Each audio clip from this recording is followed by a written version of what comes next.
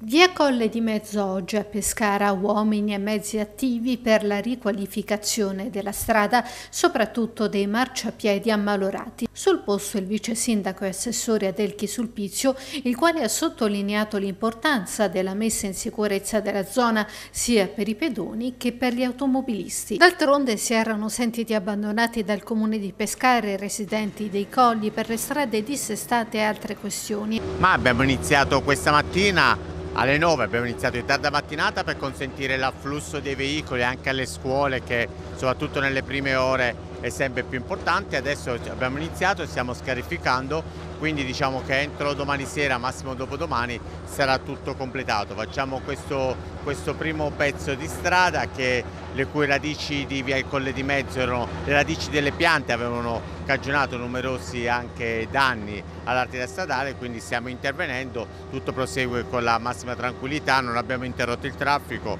Ormai operiamo con questi cantieri mobili che ci consentono di lavorare senza chiudere il traffico, quindi sia le opere di manutenzione cercando di arrecare meno fastidi possibile alla cittadinanza. Questo è solo il primo tratto della strada perché aggiunge poi si proseguirà verso il cimitero. Sì, adesso facciamo la parte più danneggiata dell'arteria stradale, da qui nei prossimi mesi invece faremo tutta l'arteria fino sopra il cimitero, quindi adesso interveniamo nella parte più ammalorata, l'anno scorso eravamo già intervenuti sui marciapiedi. E non finisce qui, precisa Sulpizio. Ma guarda che anche già, diciamo, anche nei prossimi giorni Pescara avrà diversi cantieri. Noi stiamo facendo in maniera che si opera in diverse zone mai contestualmente per evitare il proprio problema del traffico quindi interveniamo più su più zone di Pescara in maniera tale articolato per non anche interrompere il traffico. Quindi interverremo su via Gran Sasso interverremo nei prossimi giorni anche su via Falcone e Borsellino facendo, abbiamo concluso la scorsa settimana su via Prati